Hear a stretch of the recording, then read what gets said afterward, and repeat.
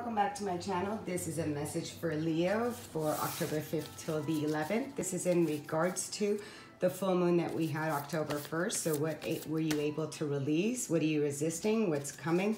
And then we have the final with the wisdom of the oracle. Now, thank you for subscribing. If you're not a subscriber, hit that subscribe button, tap the bell, leave me a comment, and like, share. I greatly appreciate it. Remember, these are general. It may or may not apply. If you like a personal reading with me, my information is down below. So let's see here what is coming on. Okay, so we do have the Nine of Wands. So uh, that is like you're coming to a surrender, a release. So let's see, what is it that Leo released here?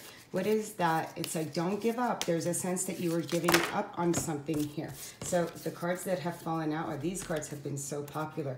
We have, so I was asking, there's a sense of newness. This is in regards to really allowing the past to be the past. You, it was it is actually completed so this is really looking at there was one more step in the journey for you to take and this is telling me that you know in releasing the past, did you need that one more step? But it's telling me it's completed with the zero, with the fool coming in.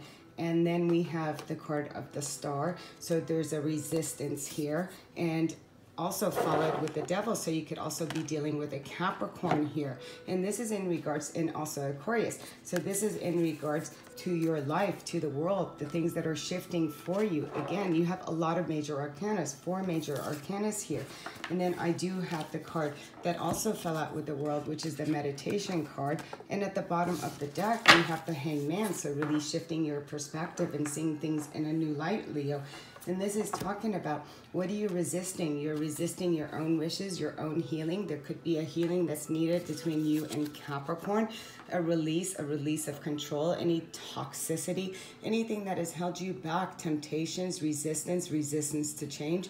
So there was, if there's been any issues between yourself and Capricorn, it's now it's asking you to resolve it to heal it with the star card. So this is saying a healing eh, that is saying don't resist the healing between yourself and this energy because it's toxic if you're to hang on to any toxicity. And if this is in regards with a capricorn it is asking you not to resist the change and the healing because as you shift your perspective you're able to release that which has been holding you back and it's able to really give you the freedom and to complete the cycle of the world that you knew. It's beginning, it's another beginning. This is the completion, this is the final card. So it's asking you to really cut the cord and allow yourself to heal if you felt there was something that is unresolved. It is saying step into the new. Really, you don't know what the new is, but you've got the fool and the world. So it's saying it's time for you to take you know, take that first step, even though if you don't know where this first step is going, it is asking you to be like the baby chick and to trust your journey by healing your past or healing something with a Capricorn, anything that has been blocking you, any toxic behavior by shifting your energy and really going within through silence and meditation and opening up that third eye and really seeing your world as something new. This is about becoming very conscious and acceptance of the past because there's healing here. So allow the healing to really happen with the wisdom of the oracle. That's the card that wanted to come out. I love this card. It's between worlds. So yeah, this is like being stuck in the past and then stepping into the new direction. And three, that's the, the spirit card. And it's really asking you to step into something new. This is transitioning from one life, like I said, um, out of one situation and then going into another. But with this card, it is saying it's time for you from zero to this to complete it. Don't get stuck here. This is being stuck between the old and the new.